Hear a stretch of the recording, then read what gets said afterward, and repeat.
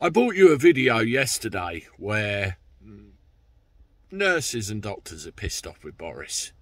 That's the only way you can put it, really, where he's treating them like paid skivvies, trying to get them to do his bidding, trying to get them to help with the roosty, roosty, boosty, boosty.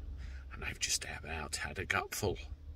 One of the things that's in the back of their minds, I know full well over the coming months, they're going to get told, have it or you're fired. It's care workers, nurses, everyone completely out of order in my life, pure, purely because I'm pro choice. Well, I have some advice and also uh, a little something that may help you if you're in that position. Stay tuned.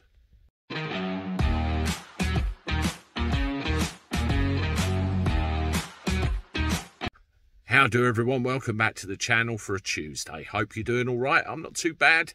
Getting ready for Christmas. Hope you are as well. Well, this one is directed really at healthcare professionals, doctors, nurses, and anyone else that might find themselves in a predicament in the not too distant future. Great things are being expected of you at the moment by the Prime Minister for the usual thing in return. Sweet fuck all. But uh, I guess you're used to that, aren't you? And uh, I, I, for one, really appreciate everything you're doing from the bottom of my heart.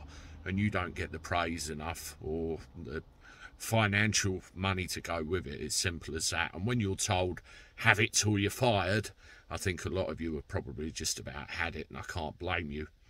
But one thing that is vitally important do not quit. Let them fire you. And the simple reason for that is that you are in a position then where they have forced you to leave the job. Uh, and last time I looked, uh, they called that constructive dismissal. You can sue them for substantial compensation. Do not quit. Don't let them make you. They may, might make your life hell. They may make it next to impossible. But go and do what I said. Do not quit. Let them fire you.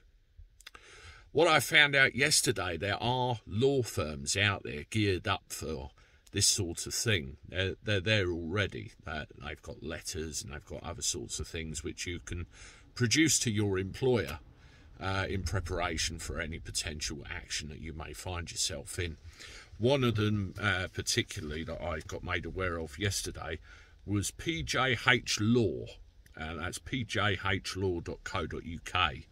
Go and have a look at them pjhlaw.co.uk, and they've got information and guidance on there which will help you help yourself. And you've got to do it. You really have got to do it. Anyway, all the best, and I'll see you in a bit of another one. Toodaloo.